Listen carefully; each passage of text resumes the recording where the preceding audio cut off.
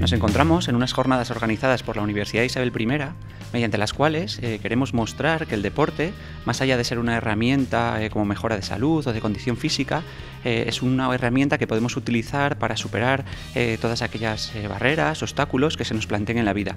Por ello, queremos llevar a cabo la realización de estas charlas con tres personas que durante el desarrollo de su vida han tenido diferentes situaciones y cómo ellas, a base de su esfuerzo, su trabajo y utilizando el deporte, han sido capaces de sobreponer y superarlas.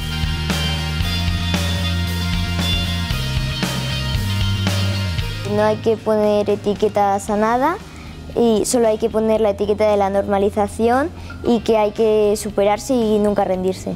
En esta charla voy a contar eh, lo que es mi día a día y que es trasladar que no hay límites. Que quizá para mí lo importante no es el resultado deportivo, sino el camino y decir que no hay discapacidad, sino capacidades diferentes y cuando nos unimos en un proyecto común es cuando hacemos cosas grandes. ¿no?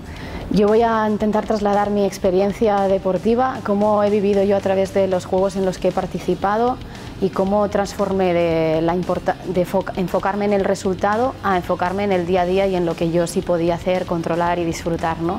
en lugar de ver siempre estar viendo en el futuro, vivir en el, en el presente.